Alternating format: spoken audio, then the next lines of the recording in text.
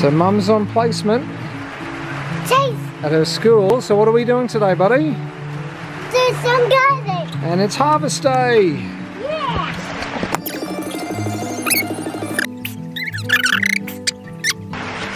We'll show everything that we got. What did we get? We got jalapenos, snow peas, we got ah. carrots, and we got radishes. And a really big yellow zucchini. some significant learnings this week for sure.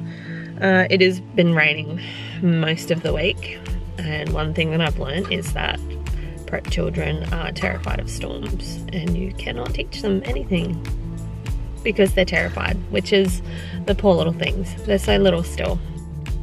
I just took her on a little bit of a drive to um, my school, so that's I drive. I don't know if you've noticed, but I spend a lot of my time in my car. Um, it's kind of a sanctuary, but also uh, it's a second wardrobe for me. I've always got spare clothes in the car, and because I can be going anywhere next after this, so I'm prepared for anything. This week was interim report week for me as well, so um, got my form filled out for that, and I'm doing really well on placement, which is awesome. Um, my mentor teacher is uh, just amazing, so um, learning heaps from from her.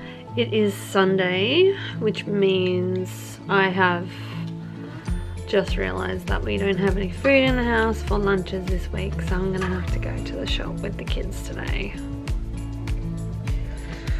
It's um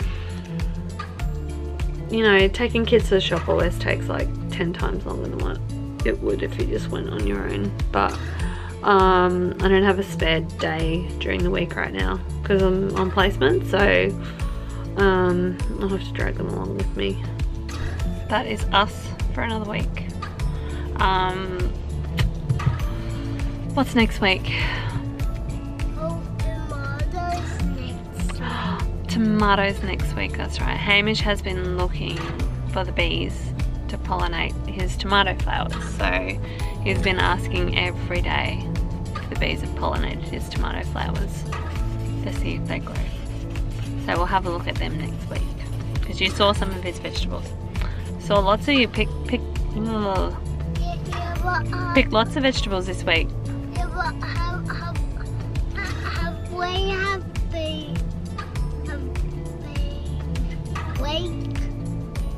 It has been a week, yeah.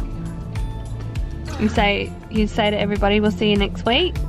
So next week, Don't forget to subscribe. the biscuit squad. To subscribe to our channel. The biscuit squad to the camel. To the camel. Don't forget to subscribe to the camel.